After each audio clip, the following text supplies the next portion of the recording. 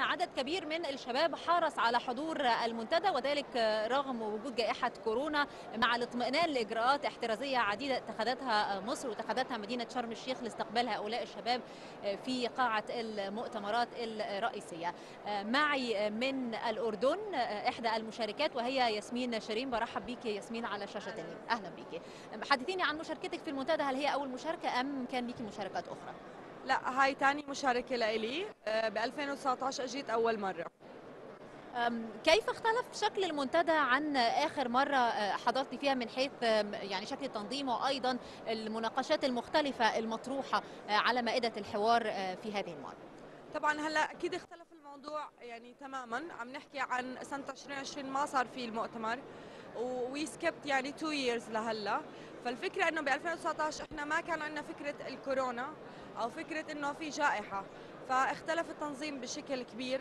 يعني آه، الفكرة إنه كثير حلو آه، they managed إنه يقدروا يعملوا هالقد فورم وهالقد عدد كبير بشروط صحية متبعة والكل عم بيتبعها بهذا الإشي.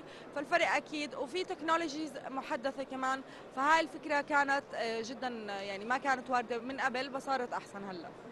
بالنسبة للموضوعات المطروحة في المنتدى آه، هذا العام وربطها بجائحة كورونا وكيفية التعامل آه، مع الوضع ما بعد الجائحة. أهمية مناقشة هذه النقطة وتحديدا طرح دور الشباب ومبادراتهم الشبابية ومجال ريادة الأعمال آه، أيضا في مكافحة أثار ما بعد الجائحة. يس.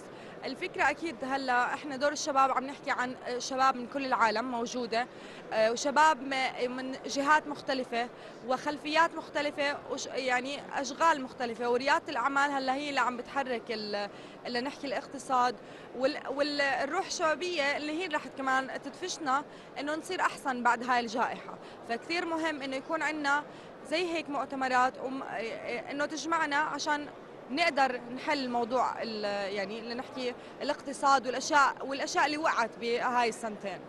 على هامش المنتدى أيضا هناك العديد من الأنشطة الأخرى. بنتحدث عن الفريدم اي هذه المنطقة اللي بتطرح نوع من أنواع التواصل ما بين الشباب. أيضا هناك لاب أو المختبرات اللي من خلالها بتطرح ال- المبادرات المختلفة. يعني هل تواصلتي مع الشباب في هذه الأنشطة المختلفة بعيدا عن الورش الأساسية في المنتدى؟ مية بالمية. آه، هاي واحدة كمان من الشغلات المهمة إنه نحضرها.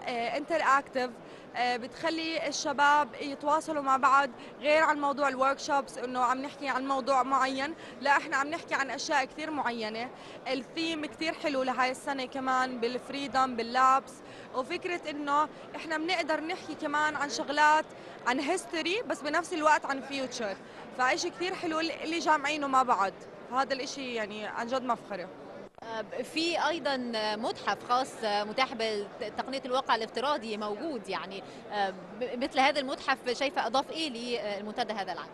أضاف كثير شغلات. أنا لأول مرة بح- بحضر هيك إشي. فأول ما فتت ال interactive museum وإنه فتنا وعم نسمع الشخصيات عم تحكي معنا كأنها reality وعم نحكي عن art فهاي إز- إشي كثير حلو. آه، يعني زي ما بسموها قشعريرة بالعربي فكان يعني آه، very interesting to see. تطويع التكنولوجيا لخدمة المجتمع أيضا من الأشياء المطروحة من خلال المنتدى. الجيل الجديد بعد جائحة كورونا بالتأكيد تعامل مع التكنولوجيا بشكل مختلف. يعني كيف ترين أهمية هذا الجانب ومناقشته من خلال المنتدى؟